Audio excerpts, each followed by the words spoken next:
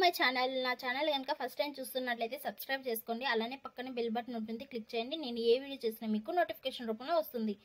చూస్తుంటేనే మీకు అర్థమైపోతుంది కదా ఈరోజు రెసిపీ అనేది నేను ఏం చేశాను అనేది. చాలా అంటే చాలా బాగుంటుందండి. సింపుల్గా కూడా అయిపోతుంది. రైస్ అయితే అస్సలు వదిలిపెట్టరు. అన్నం మొత్తం తినేస్తారు ఈ కర్రీతోటి అంత టేస్ట్ ఉంటుంది. ఏంటంటే గుత్తి వంకాయ కర్రీ అండి. చాలా అంటే చాలా బాగుంటుంది. ఒకసారి మీరు ట్రై చేయండి. ఈ గుత్తి వంకాయ కర్రీ అనేది నేను ఎలా ప్రిపేర్ చేశాను ఏంటి అనేది ఇప్పుడు చూసేద్దాం. హాఫ్ కేజీ వంకాయలు తీసుకున్నాను. లేత వంకాయలు. ఇప్పుడు పక్కనే ఒక బౌల్లో వాటర్ తీసుకొని ఇందులో సాల్ట్ యాడ్ చేసుకోవాలి. ఈ వంకాయలన్నింటినీ తొడిమిలు కట్ చేసుకొని ఈ వంకాయల్ని ఈ సాల్ట్ వాటర్లో యాడ్ చేసుకుందాం. ఇప్పుడు వంకాయలన్నింటినీ రెడీ చేసుకుందాం. చూడండి ఫ్రెండ్స్ వంకాయలని ఇలా సిద్ధం చేసుకున్నాం కదా. ఇలాగా తొడిమిల్ని తీసేసుకోవాలి ఇక్కడ. ఇలా హాఫ్ హాఫ్ కట్ చేసుకోవాలి. ఇలా వాటర్ సాల్ట్ వాటర్లో వేసుకున్నాం కదా ఇవన్నీ ఒక గిన్నెలో పక్కకి తీసేసుకొని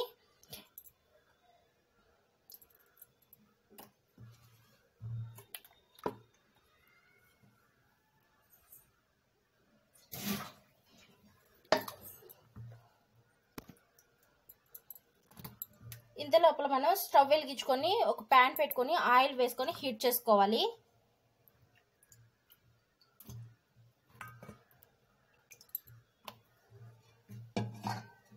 చూడండి ఇలా వంకాయలు అన్నిటినీ రెడీ చేసుకున్నాం కదా. ఆయిల్ కూడా రెడీ అయ్యింది. ఇప్పుడు ఈ వంకాయలు అన్నిటినీ ఆయిల్లో వేసి ఫ్రై చేసుకోవాలి చూడండి ఫ్రెండ్స్ ఈ వంకాయలు అన్నిటినీ ఆయిల్లో ఇలా డీప్ ఫ్రై ఇలాగా చేసుకోవాలి. మనకు వంకాయలు అనేటివి రెడీ అయిపోయాయి. చూడండి ఇలా మరి ఎక్కువ ఉడకద్దు ఆయిల్లో.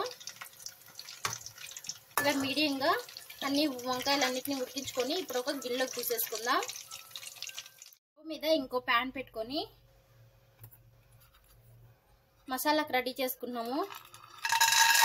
పల్లీలు వేసుకొని వేయించుకోవాలి.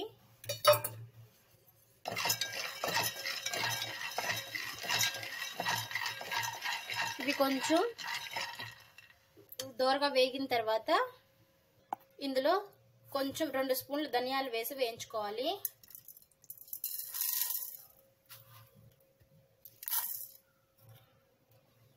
అలానే దాల్చిన చెక్క రెండు లవంగాలు మరాఠీ మొగ్గ రెండు యాలకులు జీడిపప్పు పలుకులు ఒక నాలుగు ఐదు ఇది ఆప్షనల్ అండి కానీ టేస్ట్ అయితే సూపర్ ఉంటుంది. ఇవన్నీ వేసుకొని ఇప్పుడు దోరగా వేయించుకోవాలి. ఇందులో నువ్వులు కూడా వేసుకోవచ్చు. నువ్వులు నేను వేయట్లేదు. చాలామంది నువ్వులు యాడ్ చేస్తారు. మీకు ఇష్టమైతే నువ్వులు కూడా వేసి చేసుకోండి. నేనైతే ఇప్పుడు వేయట్లేదు. ఇవన్నీ బాగా దోరగా వేసుకోవాలి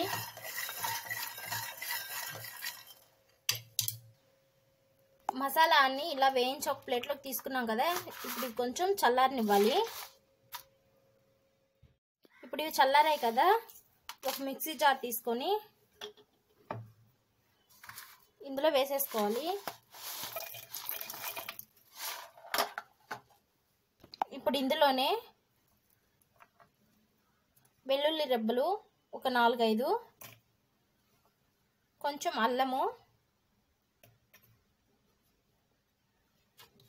రుచికి సరిపడా ఉప్పు వేసుకోవాలి.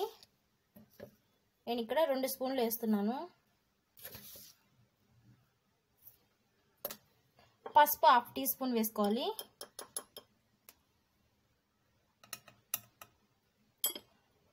కారం రుచికి సరిపడా వేసుకోండి.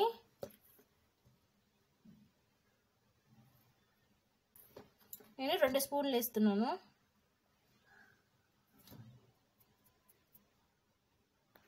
ఇప్పుడు ఇదంతా మొత్తం మిక్సీ పట్టుకోవాలి. కొంచెం వాటర్ యాడ్ చేసుకొని మెత్తని పేస్ట్ లాగా మిక్సీ పట్టుకోవాలి. చూడండి ఫ్రెండ్స్ ఇలా మెత్తని పేస్ట్ లాగా మిక్సీ పట్టి పట్టుకో పెట్టుకోవాలి. ఇప్పుడు స్టవ్ వెలిగించుకొని ప్యాన్ పెట్టుకుని ఆయిల్ వేసుకుందాం తిరగమాతకి. ఆయిల్ హీట్ ఎక్కింది కదా ఇప్పుడు ఇందులో పోపు దినుసులు వేసుకోవాలి. ఆవాలు మంచెనగపప్పు కొంచెం జీలకర్ర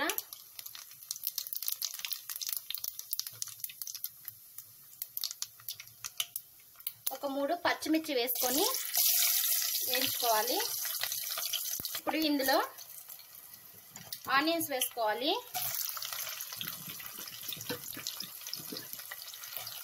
టమాటో కొంచెం కొత్తిమీర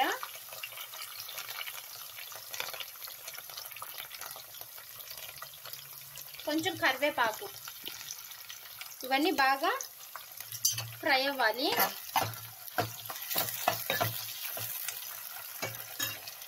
ఇవి బాగా ఫ్రై అయ్యాయి కదా ఆనియన్స్ టమోటా. ఇప్పుడు ఇందులో మనం ముందుగా రుబ్బు పెట్టుకున్న మసాలాని వేసేయాలి.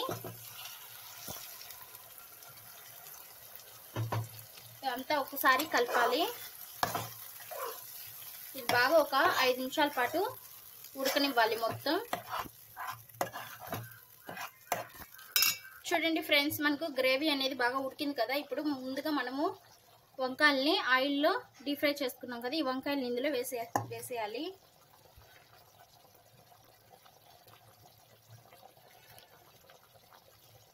చాలా అంటే చాలా బాగుంటుంది. ఈ కర్రీ ఒకసారి మీరు ట్రై చేయండి. కానీ సింపుల్గా అయిపోతుంది. ఆయిల్ అనేది కొంచెం ఎక్కువ పడుతుంది. గుత్తి వంకాయ కదా మనకు ఆ టేస్ట్ అనేది రావాలి కదా. ఇలా వంకాయలన్నిటినీ వేసుకున్న తర్వాత మొత్తం ఒకసారి అంతా కలిపేసుకోవాలి.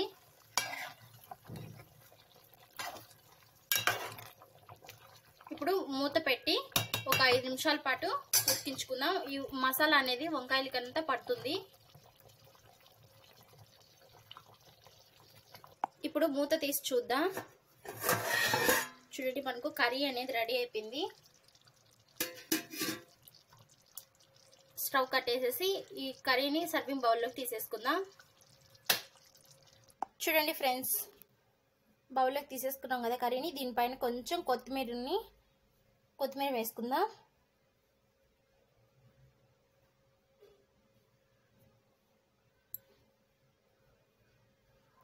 చూడండి ఎంతో రుచికరమైన గుమగుమలాడే గుత్తి వంకాయ కర్రీ రెడీ అయిపోయింది. ఈ కర్రీ కనుక మీకు నచ్చినట్లయితే మీరు ఒకసారి ట్రై చేయండి. నా ఛానల్ కనుక ఫస్ట్ టైం చూస్తున్నట్లయితే సబ్స్క్రైబ్ చేసుకోండి. అలానే పక్కన బెల్ బటన్ ఉంటుంది క్లిక్ చేయండి. నేను ఏ వీడియో చేసినా మీకు నోటిఫికేషన్ రూపంలో వస్తుంది. ఫస్ట్ మీరే చూసేయచ్చు. Thank for watching